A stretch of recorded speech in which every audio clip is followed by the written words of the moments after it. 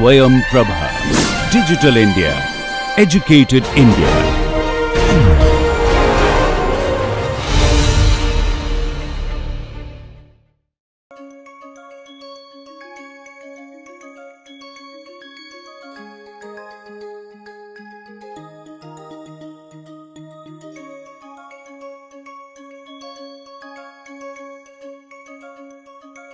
Today Professor Josh LaBaer will discuss about biomarkers in more detail and also different phases of biomarker detection.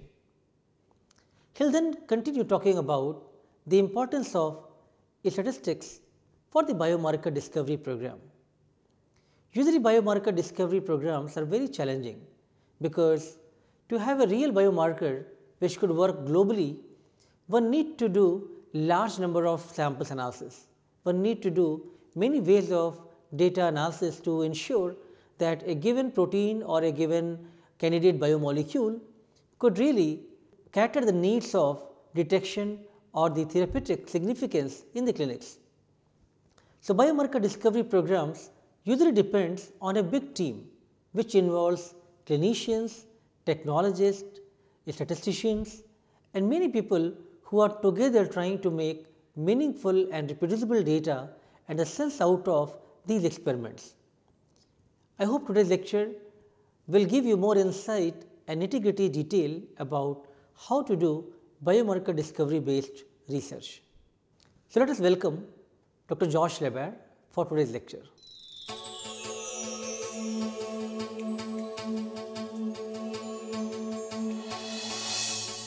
All right, so now we're going to talk a little bit more specifically about biomarkers. Okay? All right, so I won't go through this part a lot because we kind of did this. So we talked about why you would do it. You want to monitor disease. You might want to monitor whether therapeutics are working properly. You, can, you might be able to use the markers to predict toxicity of drugs or efficacy of drugs.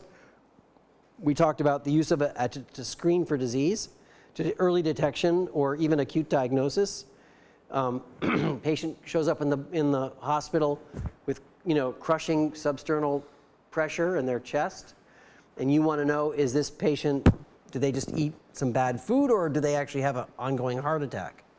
Um, and a blood test would be very useful in that setting. And there are a couple of blood tests, but they're still not fast enough.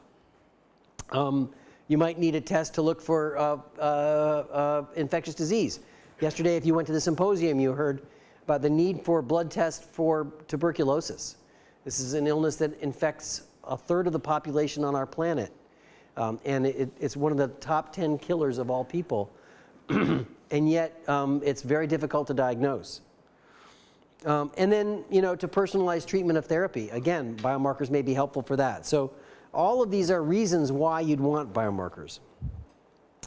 So, um, this is sort of a different way of saying what I've told you earlier. This, was a, this is based on a publication from the Early Detection Research Network at, at the National Cancer Institute in the US. Um, this, this, uh, this basically outlines if you're going to develop an early detection marker, the phases that you should go through. First, you should do uh, exploratory studies. This is the kind of observed difference study I told you about earlier. Then you need to do a clinical assay and validation. So you need to establish that the assay can detect the disease. Then they would say do a, a retrospective longitudinal study. So you look, these may be um, old samples, but you're looking at samples collected over a period of time to ask, you know, does the marker change when the patient goes from no disease to disease? So um, that's phase three. Phase four would be to do a prospective study. We talked about that earlier collect samples going forward, starting today, and asking, does the marker actually identify those people who are ill? And then, and then cancer control would be to implement the use of that marker in a large scale screening population. Okay, so I'm going to walk through about six or seven rules for biomarkers. Um, and then let's, let's see if we can understand them all. So the first goal, and I told you about this earlier, is to define define your goal clearly. So what is it that you want to do? Why are you making a marker? What do you hope that it will help you accomplish? So let's, let's diverge now and talk a little bit about the statistics of biomarkers. Okay, so this is obvious, right? You have a population of people Some of the people have the disease and some people don't, right? That's true of any population anywhere. You got some people in that population that have it and some people that don't, right? and we're going to, for the moment now, let's assume that this is absolute truth. This is, you know, um, truth with, you know, Roman characters. You know, this is, this is the absolute answer. And then now we also have a test. This is our biomarker right here. And our test is, is designed to predict these two features. The test can either have a positive result or it can have a negative result. Ideally, we want the positive result to tell us when the disease is present and the negative result to tell us when the disease is absent. Okay? But as you know, nothing is ever perfect. So let's look at the, the possible cases. The first mathematical thing we know is that A plus B plus C plus D are all the people in the study population. So this box here is everybody in our study. Okay, so first we've got this group over here. So we call those the true positives. true positives means the test was positive and they actually had the disease. So the test got it right. That's, that's as it should be, right? Okay, the second group is this group down here, and those are what we would call the true negatives. In this case, the test was negative, and these people also did not have the disease. So once again, the test was correct. So this box here and that box there, that's when the test is working well. It does what it's supposed to do, right? So that, that group of people is A, this group of people is D. Okay, so what about this? That's a false positive, right? What's a false positive? Okay, I got a lot of answers over here.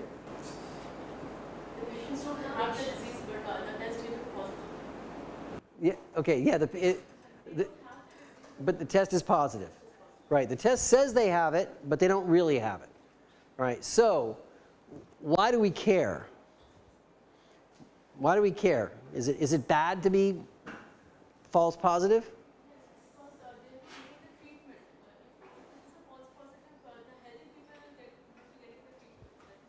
So they might get inappropriate treatment. What else? Right, right. So you're going to, particularly if it's a if it's a disease like cancer, there's a lot of emotional anguish to thinking that you're a cancer patient when you don't really have cancer, right? right? And then in some cases, it's also you put them through needless um, testing to see if they have a disease, and that can be either or both expensive and tiring for patients, right? So the consequences of false positives are, as you all point out, emotional angst, expensive testing, um, and it reduces the success of a treatment regimen. This has to do with when you're actually testing your, your drugs if, you're, if the marker said that they had the disease, but they didn't really have the disease, and your, your drug won't cure those people, and so you'll, you'll get inappropriate results. Okay, and then this group down here, we call those false negatives. The test was negative, but in fact, they really have the disease. So what's the consequence of a false negative? Right, the, right, you miss the disease. The patient is ill, you told them, you know, you know what, you're perfectly healthy, go about your life, don't worry about it, and then six months later they have the disease. Right, so, um, so this is the misdiagnosis, it's a missed opportunity for intervention.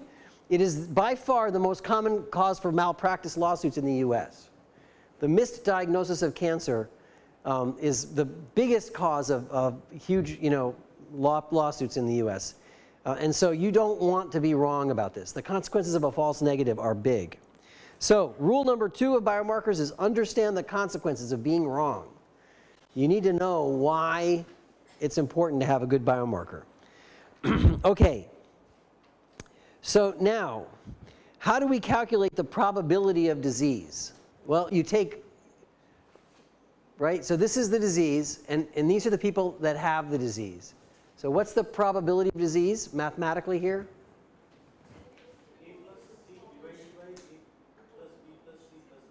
Right, right.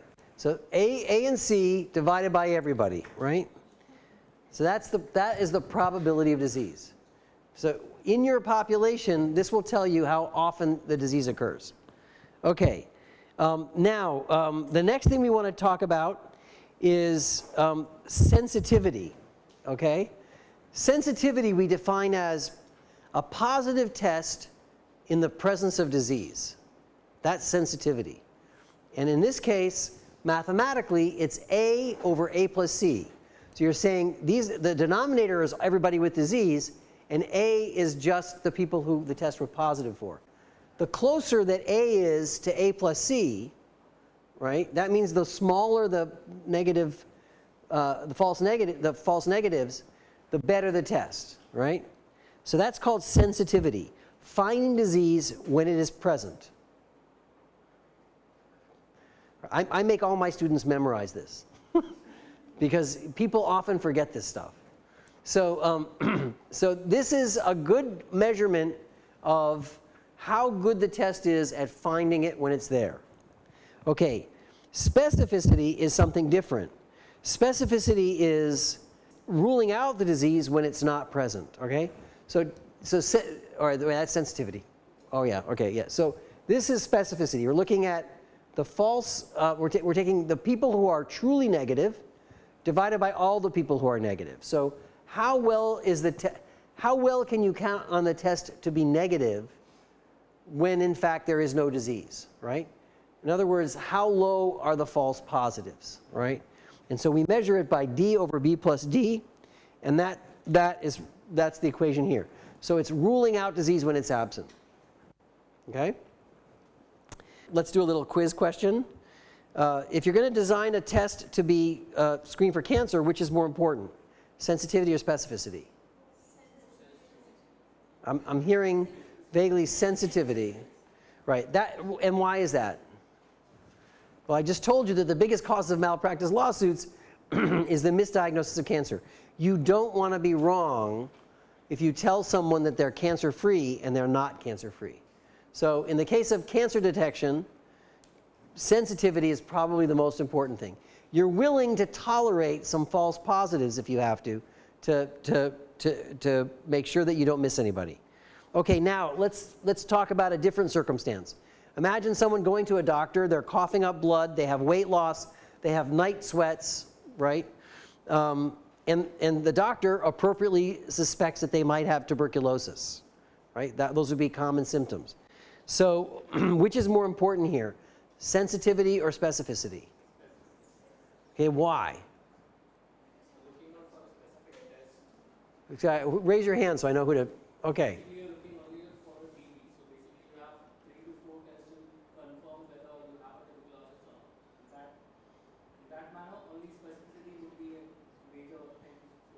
Right. For the TV. The, yeah, the, I mean, the The point is that sensitivity isn't an issue here because the patient's right there in front of you. You already know this person's sick. That's not the question anymore. The sickness is already a given. What you want to know is, is it TB or not, right? You already suspect it's TB.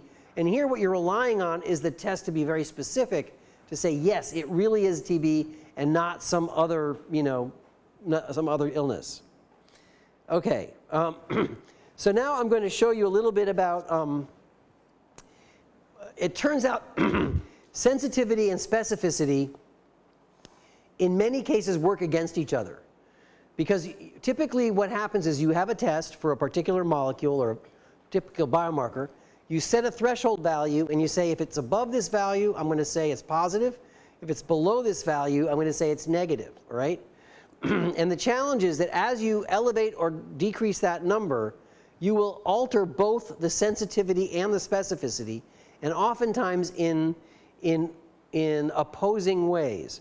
So the, I will tell you right now that these are data for a test for diabetes. And the idea behind this test was that they were going to measure blood sugar after a meal. it turns out that this is a bad test for diabetes, and no one uses it, okay?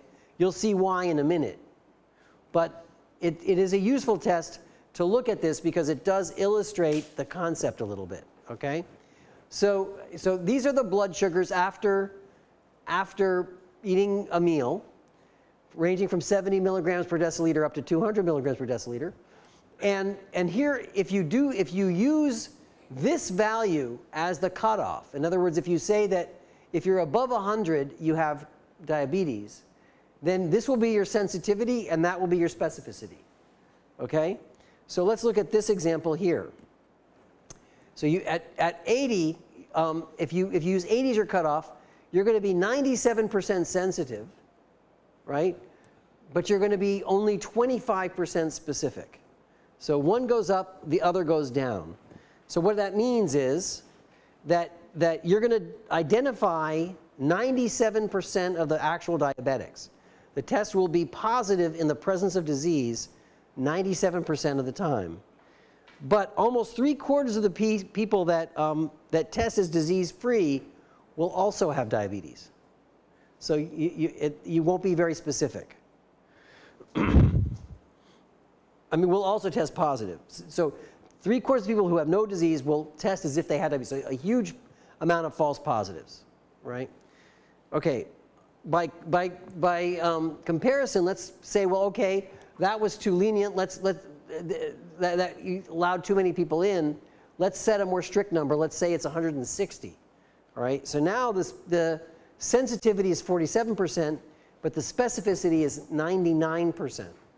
Okay, so what that means is that if, if you make a negative call, if, if you say that they don't have diabetes, you're going to be uh, almost always right. 99% of the time, you're going to be correct. but you're going to miss half the diabetics. You're going to miss half, so you're, you're going to have a lot of false negatives. and so that's just to show you that sensitivity and specificity often work against each other. Of course, sensitivity and specificity are both values that specifically refer to the test itself. that, when you go to the doctor, that's not what you care about. You don't care how good the test is. What do you care about? What's happening to me? Tell me about me. I don't want to know about your test. I want to know what, how am I doing, right? And so, um, so, so there are two statistical terms we use to describe what's happening to me, all right? And the first one is the, the, um, the positive predictive value. Okay, so what do I mean by the positive predictive value? The positive predictive value is if the test is positive, what's the chance that I have the disease? So the test says I have it. Do I really have it? Right? And so to, to mathematically calculate that, that's shown here. It's basically taking all the people who actually have the disease divided by all the people who were tested as having the disease. And that is the predictive value of the positive test. Right? And that, that matters a lot to patients. Sometimes this other value matters even more. this is the, what we call the negative predictive value. So if you had a test, we did a test for for cancer or we did a test for uh, birth defects in your child, how sure are we that you don't have cancer or you don't have, your child doesn't have birth defects, right? So what, how confident is a negative value in telling you that you are disease free? and that is defined as taking all the people who are truly negative divided by all the people who are tested as negative. So positive predictive value and negative predictive value, this is what doctors care about. This is what patients care about. What's happening to me? How am I doing? Okay, so Ray, we're to do a little quiz now. Okay, so this is a, a quiz for, um, uh, uh, uh, in this case, a test called reorder amnesia. The, the disease is, um, occurs in one in a thousand people. So it's a pretty common disease. The sensitivity of our test is 99%, and the specificity is 95%. Okay? We test a random individual for the disease. What's the chance that he actually has the disease? Okay? Got it? Sensitivity 95, 99, specificity, specificity is, is 95. So how many people think that there's an 80 to 90% chance that he has the disease? Okay, I got one of those. How many people think it's 60 to 80% chance that he actually has the disease? How about 40 to 60? I'm going to assume you got it all wrong if you didn't get it. 20 to 40%? I got 120 for 40. So far, okay. How about 10 to 20? About 0 to 10? Got a few of those. The rest of you all think that it's 9 to 100. How many think it's 9 to 100? Okay, got a few 9 to 100s. All right. All right. It's about 2%. yeah, it's, it's about 2%, right? Because um, the, the, remember, what, what affects you here is the, is the incidence of the disease. It's very low. And that is, that, it turns out that this is an important thing to remember about these statistics. And let me go back a second and point that out. remember that sensitivity and specificity were down in, in these columns here, right? They, those terms do not depend on the population. It doesn't matter how often the disease occurs for them. They strictly measure the value of the test on whatever specific population they're being tested on. But positive predictive value and negative predictive value, they depend on how often the disease occurs. And I'm going to walk you through that in a minute, but it's really important to remember that. When you hear somebody boast about the positive predictive value of a test, the first thing you need to ask was, what population did you test? How prevalent was the disease in that population? Okay, so let's walk through that. So this is, um, this is, this has to do with what's called Bayesian calculations, which includes looking not only at the probability, but also at what's called the prior probability, which is when you begin your test, what was the likelihood to start with? And we're going to use as an example the prostate specific antigen test. This is a very common test used to detect prostate cancer. Um, it has a sensitivity of around 70% and a specificity of 90%, that's one of the best values you'll see anywhere. Um, you know, that's a pretty typical marker. When people, when I told you before, when people publish 99% and 99%, you don't believe it. Numbers like this, that's kind of what you'd expect from a, a pretty good marker. Um, so now we're going to ask the question, how does incidence or prevalence affect the positive predictive value of a test? we're going to consider three different populations. We're going to consider all men, in which case the incidence of, of prostate cancer is 35 cases in 100,000. We're going to consider men who are over 75, in which case the prevalence of the disease goes up to 500 per 100,000. And then we're going to consider men who already have a, a, clinically suspicious nodule. A doctor did an exam and found a mass. So that in that case, there's a, about a 50% chance that they have cancer. Okay, so three different populations. These are the incidence. Remember I told you the probability of disease? A plus C over A plus B plus C plus D? That's what these numbers are right here. Okay, so let's look at the first case. In this case, um, uh, we're looking at uh, the clinical nodule, a 50% likelihood to start that this person has cancer, right? So you so notice that I have um, uh, that um, this number here and that number there add up to 50,000, right? So 50,000, remember I said that out of 100,000 men, 50,000 had it? So 50,000 have it and 50,000 don't. So that's appropriate, right? Remember I said that it has a 70% sensitivity? So that means of this number here, 70% or 35,000 are positive. And remember I said that it had a 90% specificity. So of this number, 45,000 um, don't have it, right? So these numbers all add up to these numbers here. You believe me? So now do the math. If you do the math, the, the positive predictive value is 88%. So even though you already have a suspected mass, and even though this test has a 70% specificity and a 95% spec sensitivity, specificity, um, the predictive value is still not 100%, it's still about 88%. Okay? Now let's look at a very different population. We'll go to the other end of the spectrum. Let's look for men who, um, all men, 30, 35 men in 100,000 that have the disease. So now let's do the math again. again. The population that has the disease is 35.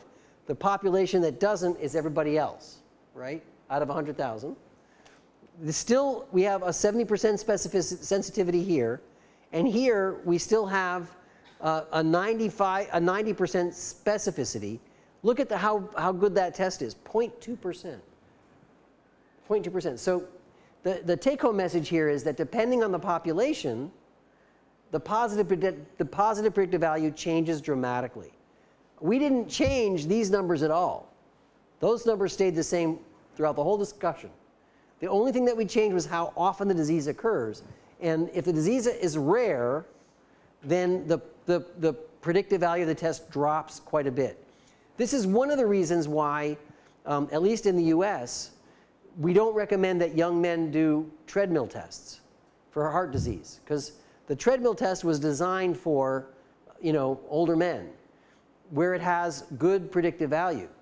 But you know, when the incidence of the disease drops like it does here, then the predictive value drops precipitously, and then the risk of a false positive becomes much higher. Okay. Uh, and then this is just to sort of, sort of show you the kind of more general circumstance of 500 in a, in a 100,000. So this is not far from the you know, 1 in a 1,000 we looked at uh, uh, in that quiz question. And again, here the test is around 3.4%. So it, it all has to do with the population you're dealing with. Okay, so I, I sat through a lecture in my institute where someone was boasting about his test that he had developed. And he, he, this is the clinical study he did 450 cases and 150 controls. So the prevalence in this population is what? So the, the, the prevalence is very high, right? Because you, you're, you're three quarters of the people in your study have the disease. Three quarters of them have it, right? So, um, so he did the, he had this positive test and he said um, that his predictive value was 75%, right? And, um, and I looked at the numbers here and it turns out that if he had zero, if the tests were equally split between um, uh, positive and negative, right? He would have, like half the time it's positive and half the time it's negative, he would have still had a predictive value of 75%. So he had to do nothing. The test had, to, had zero predictive value in a sense, and it would still have given him a positive predictive value of 75%. So it was pr pretty lame presentation.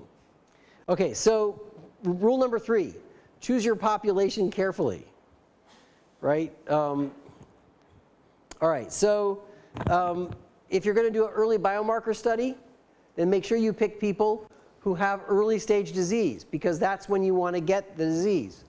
Um, will it apply, you know, if the test will apply to people with different stages of disease, if it could be confounded by people with different diseases, maybe they have uh, other things that could alter their CEA levels or um, have non-malignant GI disease. Uh, and, and just remember that sometimes it's more important to separate disease A from B than disease A from normal. So imagine if you're in a clinic and someone walks into your clinic and they have abdominal pain. And they tell you that they've had abdominal pain for months and you know they've been losing weight, right?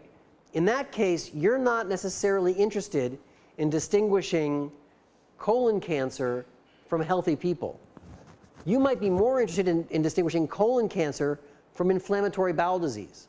You know the patient's ill. They've been suffering from GI symptoms for months. So there, you know there's something wrong. You're not separating normal from, from disease, from cancer. You're separating cancer from other GI diseases. And so always remember that if you're going to do a study to find a biomarker, you should find, you should use a population of maybe people with with non-cancer GI diseases from, GI, from cancer diseases.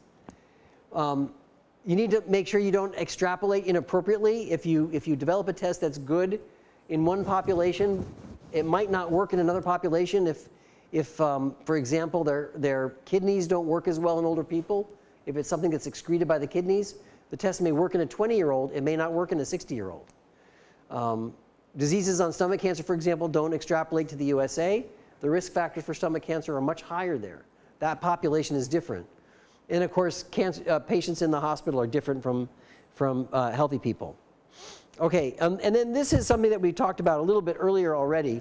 Um, this is what I call the fallacy of, of, of statistical significance. And so we, we kind of covered that already. Um, just because there's a, the, there's a good p-value between A and B doesn't mean that they're good biomarkers, you should be using sensitivity and specificity, not p-values. And, and that's really shown on this thing here, which we've already covered, so I'm going to skip that. Um, all right. All right, so focus on sensitive and specificity markers and not on statistical significance. All right, that's fair. All right, so now um, I want to mention a little bit the, um, and we're, we're coming to the end here, the, the omics trap. Because all of you are, many of you are going to be doing omics studies. That's what we all do these days. Um, and you often hear this statement from people in the omics studies. I'm not going to look for a biomarker, I'm going to look for a pattern. I'm going to look for a signature. Um, they might be doing it on DNA microarrays or protein arrays, um, but you have to remember that a, a, pattern is really multiple parallel tests. They're doing a bunch of different molecular uh, statistical studies. And um, they, by doing multiple tests, they increase your sensitivity because each test has a chance of being positive, but they reduce your specificity because you have a higher now rate of false positives, right? Um, so uh, if you're going to do multiple parallel tests or look for patterns, my, my biggest advice is to get a statistician because you're going to need more careful statistics. And we, this class is not prepared. We're not going to do those statistics here. You just need to be aware that when you get to that stage, it's time to engage somebody. So um, uh, we have two tests. Imagine that, that this test um, Uh, they have two tests for the same illness, and they're testing for a positive, and they both have a positive predictive value of 95%. So um, imagine uh, test A is positive, and it has a probability, the, the probability that it's going to be positive is 5%. Test B may be positive, so its chance, to, chance alone is 5%. If you uh, do both A and B, now if you require them both to be positive, now you reduce, now your test is getting more stringent because the chance of a false positive is much lower now. But if you accept either one, now the chance uh, is much higher because you now have to add the two effects together. Okay. Um, yeah, so this is even, um, now imagine if you do this with multiple tests. So now you have a whole series of tests. I'm going to just go so now each of these is going to have a different positive predictive value. They're going to have all kinds of different due to random chances. And if you add them all up, you, it, the numbers get to be outrageous. So again, the, the take-home message is um, get, get a uh, biostatistician. So here's the example that, that I like to remind people of when they're doing multiple testing. And this is a lot like um, what you would see in an omic study. So if I asked every one of you to take out a coin and flip it and mark down whether you got a heads or a tails, what do you think the likelihood is that the, the result on the coin would predict the gender of the individual who flipped the coin? Right? Nothing, right? Okay, now let me change that. Let's say that I gave you each 10,000 coins to flip. And you went one by one and flipped every coin and you marked down heads or tails, what's the chance that among those 10,000 flips, that one of them, maybe the 5,635th of them, would correlate with sex of the individual? There's a chance, right? Might not be perfect, but among those 10,000 tries, maybe one of them by chance alone would align, maybe not perfectly, but it would align with the gender of the individual. And you would say, aha, I found a biomarker. If you, if you flip a coin 5,635 times, that one will predict the sex of the individual. But you'd be wrong. So how would you prove that you'd be wrong?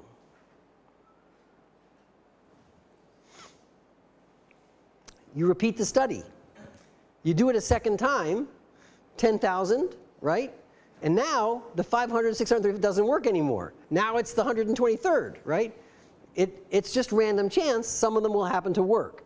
And, and that is what we do with omic studies. We test 10,000 things. We get one that works and we say, aha, I found a biomarker. But you tried 10,000 times. So you have, to, you have to adjust for that by doing some kind of false discovery rate uh, adjustment. So, so that, that, that's, that's kind of what, what, what, I, what I did here. So imagine if people did all these studies, right? Right? Um, Right. You have to keep this. You have to keep the number of the population small. Um, this is especially a problem when the size of your population is small relative to the number of variables you're trying. If, you're, if, you, if you have a study of 100 individuals, 50 cases and 50 controls, but you're testing 10,000 variables, you have this risk of what's called overfitting. Um, and, and then that's why you have to repeat the study doing a completely different uh, population. All right, so I, I kind of went through this. All right, so if, you if your biomarker is a proteomic or expression pattern, the bottom line is get a good statistician. Okay, uh, the last couple things I'm going to mention is where do you get your samples? Make sure that the sample that you use is relevant for um, the use of the test. So imagine if, you, if you're going to do uh, uh, a biomarker on early disease detection, right? We said that you're really going to be testing a healthy population. Healthy people are not going to be interested in giving you biopsies, nor would it be appropriate to put them through that risk, right? right? You know, um, if you're going to take a test for healthy people, it should be a simple test. Urine, maybe blood, you know, um, it's got to be something that you can measure easily, maybe saliva. Um, you can't rely on doing biopsies. On the other hand, if they already have cancer, then of course they might be willing to, to do that. If you're, you have to look at whether this, this sample will be stable. If, if it's a biomarker in blood, will it be stable in blood? part of, remember I told you about Paul Tempst and the study where he could tell the difference between the tubes? Well, what it turns out is that one of the tube types was inhibiting a protease and the other one was not. And what was causing the difference was proteolysis in the sample.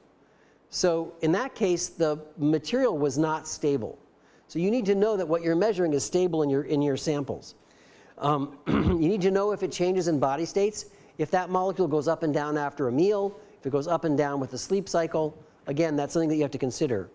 Um, uh, and then, of course, if you're measuring samples from a tumor, you need to look at where you're, you're taking your biopsy from. So rule number six is the willingness of an individual to part with some of his liver is directly proportional to the gravity of his diagnosis. People do not give up parts of themselves easily. They only do so when they're really sick. So it's good to remember that. Okay, you, part of biomarkers is knowing how to prepare your samples. How are you going to preserve it? Um, uh, that could dramatically affect outcome. I already gave you the example with Paul Tempst. Um, is the instrument robust and reliable? Is it going to give you the same answer every time you measure it?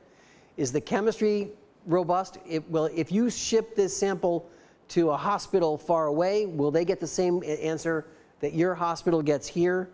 Um, uh, and then, you, of course, what controls are you going to use? So um, these are just some of the general things to think about. So will sample preparation affect the reading? Are you handling the samples properly? Are you going to freeze them? Um, and, and then, of course, you need to know if there are natural variations of the biomarker you're testing from person to person, because that's going to, that, if there's, a, if there's a lot of natural variation, even among normals, that's going to make it more difficult to use that as a biomarker.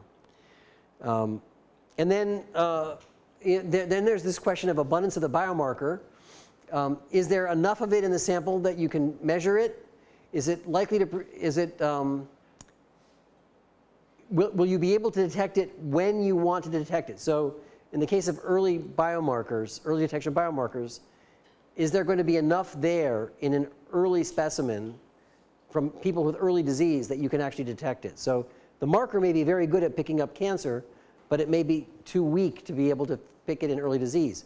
That was the case with the CA125 that I mentioned earlier. It was a good marker for distinguishing ovarian cancer.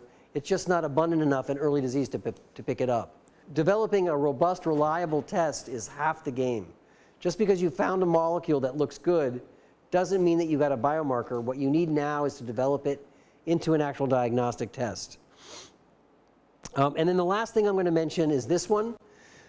which is that your markers are likely to be more believable if they relate to the biology of the disease. And I think a couple of you have already mentioned that, but just keep that in mind, that, that if you want the marker to make sense, um, look for markers that, that fit with what you think is going on in the disease. If it's just sort of a random molecule, it'll be a lot harder to validate it.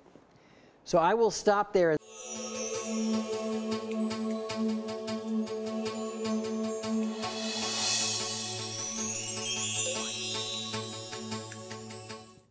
All right. So, by now you are quite familiar with the importance of studying biomarkers and you have also seen the challenges of performing the experiment to discover new biomarkers. And I must say that you know it is a very very challenging journey and that is why actual clinical translation of biomarkers is not easy and not very successful either. There are a lot of candidate proteins have been discovered which have potential for the biomarkers especially for early detection of disease or prognostic values or even therapeutic values. However, many of the biomarkers are not easily translatable to the clinics. Reason that you know you need to do a lot of validation to ensure that from the discovery work what the biomarkers have been identified, they really fit the purpose of the clinical assays and they are able to serve the utility for the large patient populations. Therefore, the biomarker discovery program even if it is performed on the small number of samples, you need to now scale up to the really large number of samples to do the validation that these proteins are actually showing the kind of expression pattern which you have discovered from the initial workflow. You have also learned the need to have a good team involving clinicians who can give you the right samples to test your hypothesis, the right type of technology platforms where you can execute these experiments and then involve the scientists who are good in doing the big data analysis who can now make reproducible and sense of your data without compromising on the data quality. So, these are the considerations which are very crucial and I must say that despite all the odds, despite all the challenges, still there are many biomarkers which are now getting translated to the clinics, they are getting approved by the US FDA and there are some success stories especially the OVA1 and OVA4 and so the other protein which are now coming to the markets giving you the motivation that if we do these kind of discovery workflow properly, probably the eventually it may be translatable to the clinics. Thank you very much.